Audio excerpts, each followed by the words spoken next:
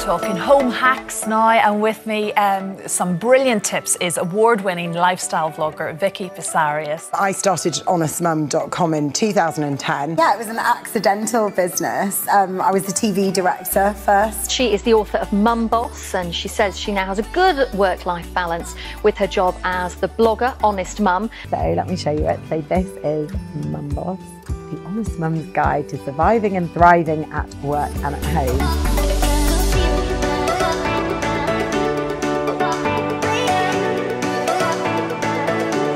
I've got an eight-year-old and a five-year-old. Now, I, yes, they can be stressful, but I am sick of the school run. I'm really looking forward to relaxing more. We're teaching children about protecting our planet. We need to start, we can't bury our heads. No, what do you think our kids expect the future to look like? You know, what's going on is is challenging. Let's just all accept that we've got different opinions, respect one another's different parenting styles, because that's really what my ethos is. All you need is a raisin, pop the raisin in, and it revives the bubbles.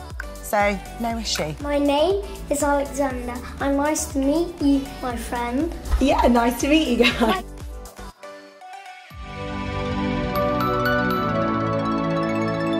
Yeah, what did you learn about it, Oliver? Because it is confusing for adults as well.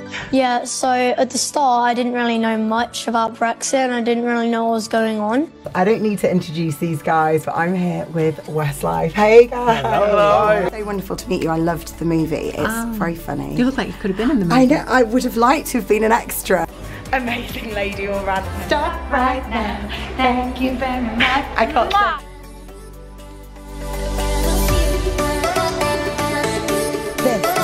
Imposter syndrome. It makes you feel like a fake when you have no reason to, and although not exclusive to the female gender, it's more common in women than men. MG have asked me to check out their electric car, the MG ZS EV. Love this car. I just want this car. What's great about this car is it runs on petrol, not diesel, so it's better for the environment and it's better for your wallet too. I think when it comes to whether boys or girls should cry, you know, it's it's damaging not to release emotion, isn't it? I empathise. She's 14. Tweens are very conscious of, of what their parents are doing. We can still travel with children. It doesn't have to be expensive. We just came back from Devon recently and with the kids and it's it is really magical times. I often look at things and say these are the times of my life.